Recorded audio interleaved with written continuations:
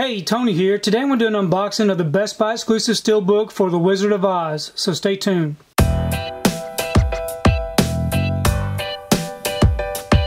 So today I've received my copy of The Wizard of Oz. This is a Best Buy exclusive steelbook with a 4K Ultra HD, Blu-ray, and digital code. This is the front, and here's the back. If you would like to pause and check out these special features, you can go ahead and do so. I'm going to go ahead and open this up and we can take a closer look at this artwork. So here it is opened up without the J card on it and without the wrapper. Really nice image here of Dorothy in the poppy field sleeping and a nice title. There is no debossing or embossing on the title. And here's the spine. And here's the back, which is a nice continuation from the front. And then we open it up and we have our um, 4K disc here in red with just the title on it. And then the Blu-ray disc here in the back with the Scarecrow. This has the feature film and special features. And then we got some really nice artwork here of Dorothy and the Scarecrow with the Wicked Witch behind the tree. Really like that image and I'm really happy with the artwork on the steelbook. Looks very nice together.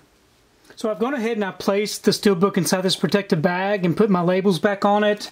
Um, I do get these bags from Amazon. If you're interested, just check out the link below. But this bag will help keep this from getting scuffed up on the shelf. I also wanted to take this time to show you some of my other items that I've got for the Wizard of Oz.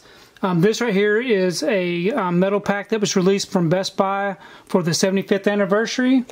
This does include the 3D version. I really do like the artwork on this one. And then, of course, I got the 75th anniversary 3D edition with the lenticular slipcover with Dorothy um, and the poppy fields. And also I've got the 70th anniversary here um, that was released. So overall, I'm a big fan of The Wizard of Oz. I do remember watching this as a child, really enjoying it it is definitely a classic that everybody should have in their collection. Um, overall, I'm very happy with this Steelbook release.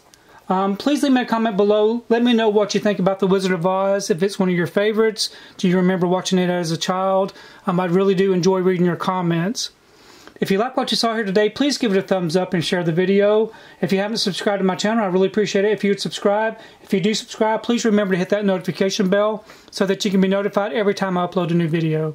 If you haven't found me on my social media accounts, I'm on Facebook, Twitter, and on Instagram, so you can find me there, and we will see you next time.